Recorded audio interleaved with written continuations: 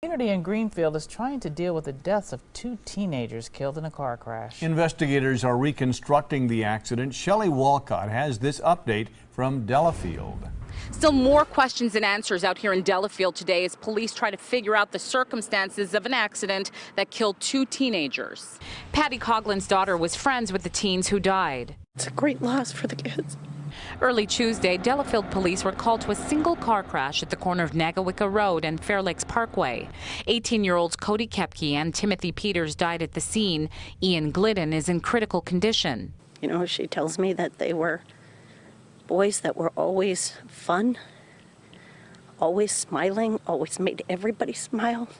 There has been a steady flow of people out here to the accident site. Even one of the first responders stopped by, saying he just had to see the scene of this accident one more time. Investigators are busy reconstructing the accident. And we have investigators that are trying to talk to friends, acquaintances, and that to try to go back over a 24 or 48 hour time period to see where they were before the accident and what led up to it. Arrowhead High School will be offering counseling. The two victims make five students from that school to die within the year. And parents like Patty hope young people will learn from this tragedy so the teenagers' lives weren't in vain. They need to drive carefully. They really do. You know, they're not experienced drivers.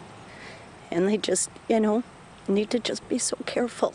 And again, the definitive word on what actually caused this accident won't be available until the toxicology reports come in, and that could take several weeks. On your side in Delafield, I'm Shelley Walcott, today's TMJ4. Thank you, Shelley.